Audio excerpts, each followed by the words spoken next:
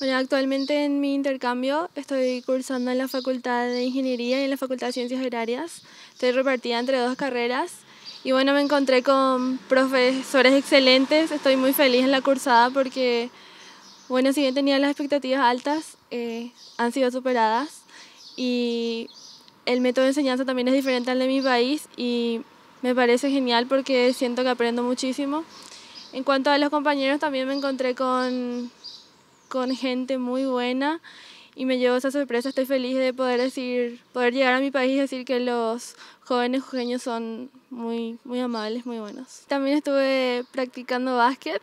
En general no soy de practicar deportes, pero acá me tocó interactuar con muchos jóvenes y, y bueno, ver que también a la par del estudio universitario se pueden hacer otras cosas y me gusta mucho eso de la UNJU que fomenta mucho el deporte, entonces me apunté al, al básquet también.